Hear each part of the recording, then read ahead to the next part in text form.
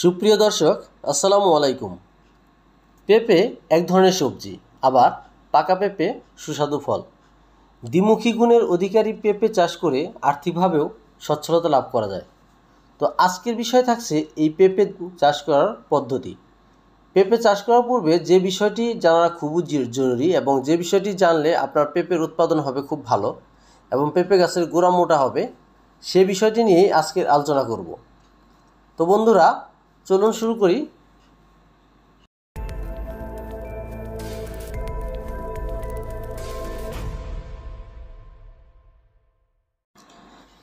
বন্ধুরা, পেঁপে চাষ করার পূর্বে যে বিষয়টি খুব ভালোভাবে লক্ষ্য করতে হয়, সেটি হলো পেঁপে চারার রোপণ পদ্ধতি। আসলে প্রথমত যেটি লক্ষ্য করতে হয়, সেটি হলো আপনি কোন বয়সের পেঁপে চারা লাগাবেন।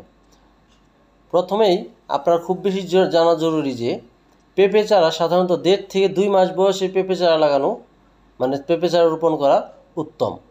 তো দেড় থেকে দুই মাস বয়সে পেঁপে চারা রোপণ করলে আপনার পেঁপে হবে খুব ভালো।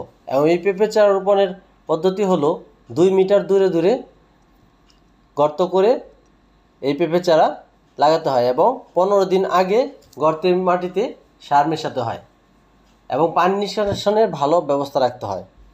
তো বন্ধুরা, পেঁপে গাছের চারা গোড়া মোটা করার জন্য যে টিপসটি আজকে দেব সেটি হলো, এই পেঁপে গাছের চারা যখন লাগাবো, লাগানোর সময় যে বিষয়টি খেয়াল করতে হবে সেটি হলো, পেঁপের চারা যেন কোনোভাবেই একদম স্ট্রেট না লাগানো হয়। পেঁপে চারা স্ট্রেট লাগালে সেটি কি হয়? খাবার পায় এবং খুব দ্রুত বেড়ে ওঠে। যে কারণে পেঁপের চারা লম্বা হয়ে যায়। যে বিষয়টি আপনার খেয়াল রাখতে হবে পেঁপে চারা লাগানোর সময় অবশ্যই আপনার পেঁপে চারাটি দক্ষিণ দিকে কমপক্ষে পঁয়তাল্লিশ ডিগ্রি অ্যাঙ্গেলে লাগাতে হবে। দক্ষিণ দিকে, আবারও বলছি, দক্ষিণ দিকে কমপক্ষে পঁয়তাল্লিশ ডিগ্রি অ্যাঙ্গেলে লাগাতে হবে, যেটি এক মাস বা দেড় মাস পরে পুনরায় সোজা হয়ে যাবে।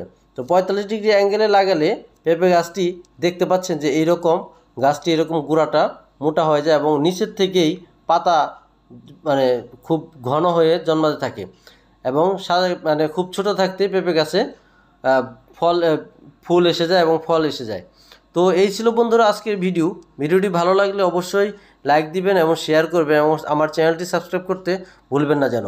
ধন্যবাদ সবাইকে। আসসালামু আলাইকুম।